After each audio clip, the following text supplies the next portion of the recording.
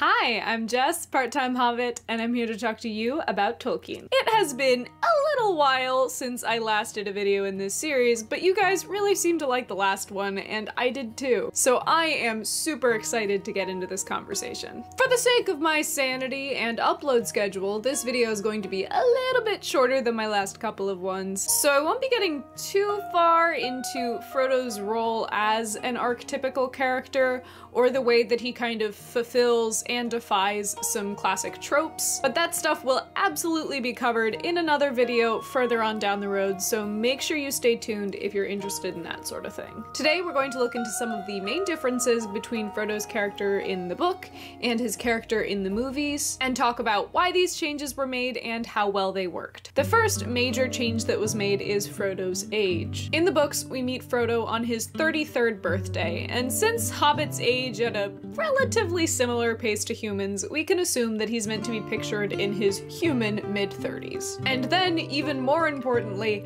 17 years pass before the main events of the Fellowship get underway. This makes Frodo 50 years old when he departs the Shire. Frodo's age is not specified by Peter Jackson, but Elijah Wood was only 19 when they first started filming the Fellowship, and we're just gonna kind of ignore the uh, existential crisis that sends me spiraling into. Not only that, but Peter Jackson compresses the timeline of Fellowship, meaning that Frodo leaves pretty immediately after the birthday party. And I could never argue with the casting of Elijah Wood as Frodo. Big blue but I think that this change in Frodo's age was kind of the first domino in a long line that led to some pretty major changes in Frodo's character. Especially because they never specify Frodo's age in the movies, we are left to kind of contextualize his age with the actors around him. Dominic Monaghan was only a few years older than Elijah Wood at the time, but both Billy Boyd and Sean Astin were at least a decade older than him at the time of the filming. Still now, I guess. I,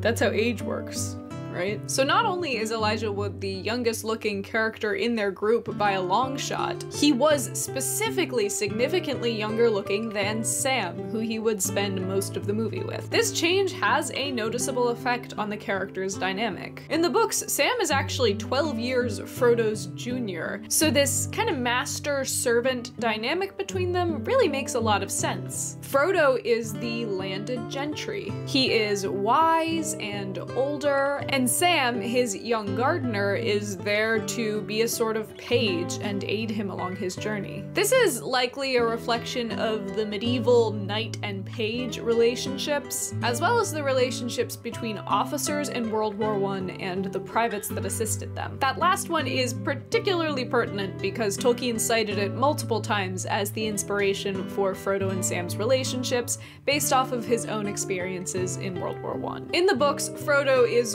and constantly in need of help, but he definitely is in a leadership role. Meanwhile, in the films, we're left with Sam as a sort of guiding force to Frodo. He's definitely still in the helper role, but instead of feeling like Frodo's servant, he's more of a father figure. This choice is definitely not bad in my opinion, and the actors certainly pull it off incredibly well. But again, this has ripple effects on Frodo's character. And unfortunately, some of these choices really changed the essence of Frodo's character and his role in the story. In the books, he is presented as surprisingly bold. While living in the Shire, he follows in his Uncle Bilbo's footsteps, shucking away the conventions of Hobbiton and really following his own path. Once on the road, we see him stand his ground on many occasions, even if it seems totally hopeless. He defends his friends in the Barrows, stands face to face with the Nazgul multiple times, and even faces Shelob the Great head on. Frodo often doubts himself, but he almost always always chooses the right path in the end, standing with all of the strength he has in the face of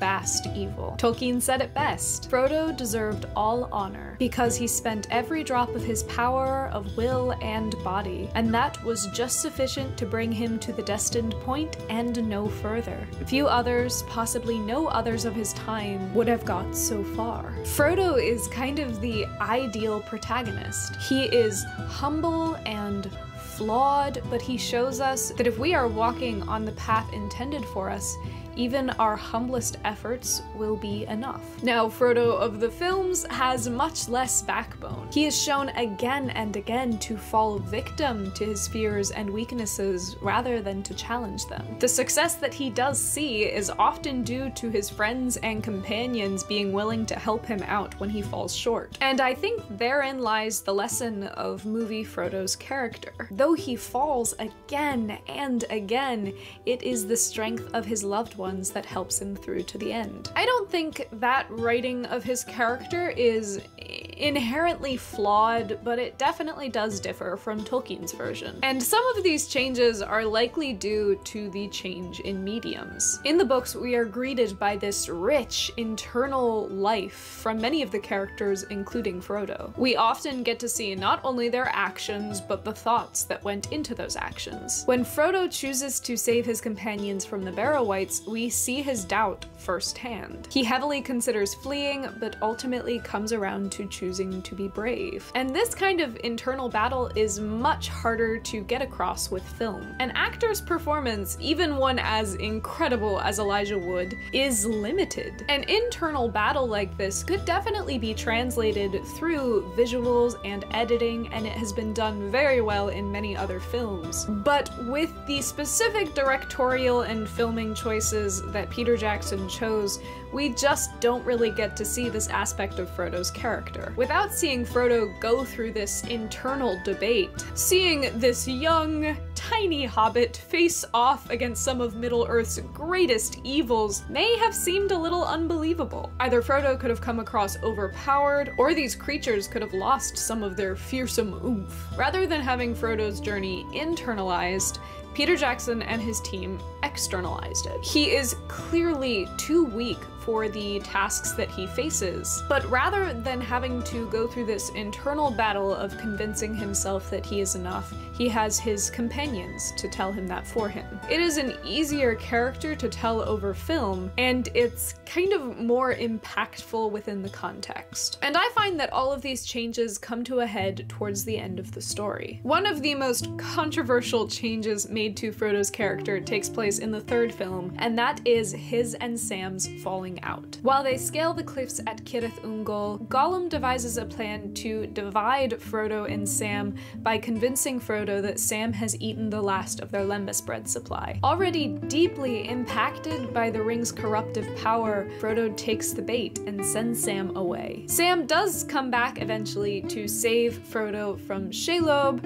and the journey kind of continues as it was written in the book, but this whole interaction was entirely invented by Peter Jackson and his writers. In my case, I'm kind of torn over this one. This conflict does inarguably kind of Frodo and Sam's relationship. The characters that Tolkien presents have a bond with each other that is almost stronger than blood. They are side by side and utterly loyal to each other from the moment they leave the Shire until the moment that they come back. And it is one of the most beautiful relationships in literary history. However, and I can already feel the rage wafting at me through my camera. I do see how this relationship could have gotten a little bit boring on screen. The fact is that pretty much every relationship has some kind of conflict, especially when that relationship is being tested by external factors. Say, I don't know,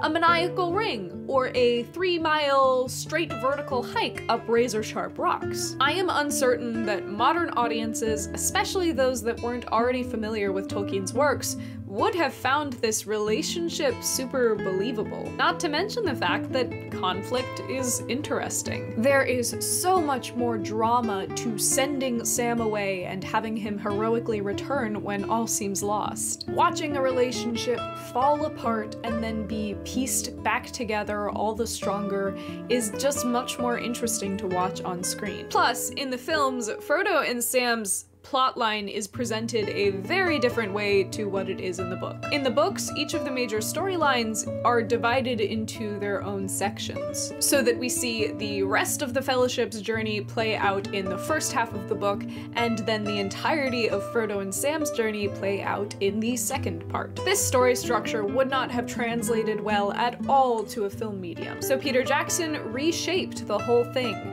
cutting these stories together so that we would get to watch this plot play out simultaneously. And this, although a good choice, did create a problem. I think if they had played out Frodo and Sam's relationship just like it was in the book, alongside all of the intrigue and interpersonal drama of the fellowship side of the story, Frodo and Sam may have kind of fallen flat by comparison. They needed tension. They needed to raise some more questions, hang off a few more cliffs in order to keep the audience engaged as they flipped from one story to another.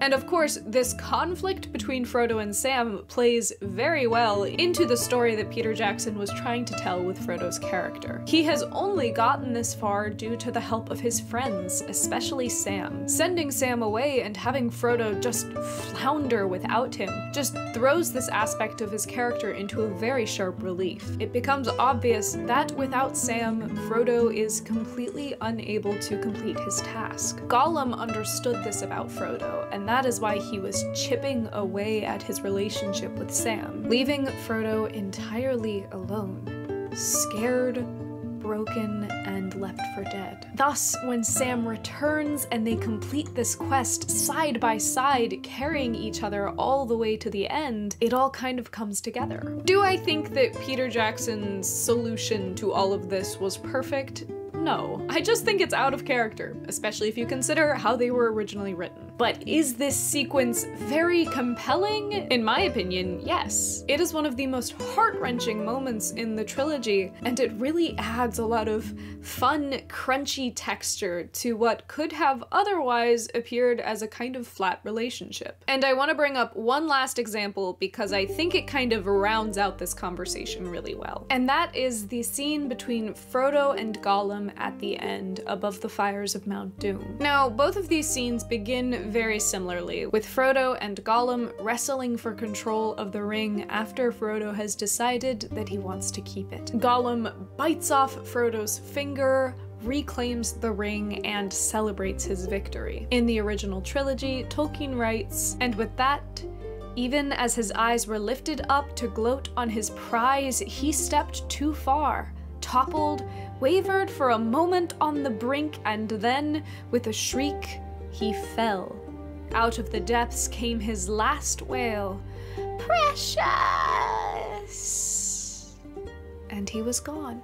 I would show you the clip of this from the movies, but I'm pretty sure that Warner Brothers would hit this video so hard that I personally would cease to exist. Essentially though, in Peter Jackson's version, Frodo tackles Gollum off the side of the cliff. Gollum falls and dies, but by some miracle, Frodo hangs on and is rescued by Sam, pulled back up from that edge in a scene that will never fail to make me sob like a little baby boy. Now, they added this extra spice to the movies because it wasn't that dramatic in the books. I can see how Gollum just kind of having an oopsie and slipping and falling would have kind of seemed anticlimactic in a packed, excited theater. Not to mention, this change drives home the point that they've been making. Frodo fails. He falls, but Sam is there to catch him, to make up for his insufficiencies so that they both can make it to the end together. It is the perfect dramatic end cap to the character that Peter Jackson built. Frodo is weak